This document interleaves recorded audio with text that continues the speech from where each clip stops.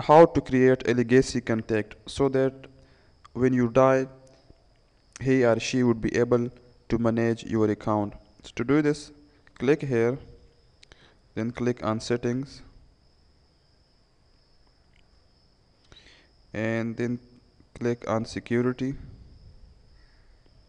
then come legacy contact. So click edit. Now what is a legacy contact. A legacy contact is someone who you choose to manage your account after you pass away. They will be able to do things like pin a post on your timeline respond to new friend requests and update your profile picture. They won't post as you or see your messages. If you want to learn more about this you can click on this learn more now what he can do he can write a pin post per your profile. He can respond to new friend request update your profile picture and cover picture. And what he can't do log into your account remove or change past post photos and other things share in your timeline read your messages remove any of your friends now I just add someone to be my legacy contact. I click and add. Okay. Now this message will be sent to the person I have selected as a legacy contact in his uh, inbox. So I click send.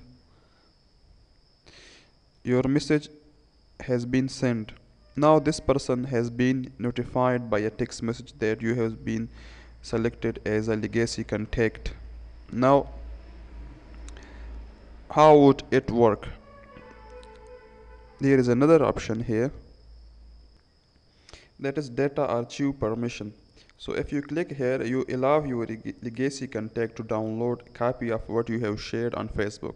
This may include photos videos and info from about section of my profile. So you allowed your uh, legacy contact to archive this. Now uh, when does it start to work? Uh, your legacy contact would be able to do and manage your uh, profile. So that is only uh, happening when your account become memorialized. So what is being by memorialized?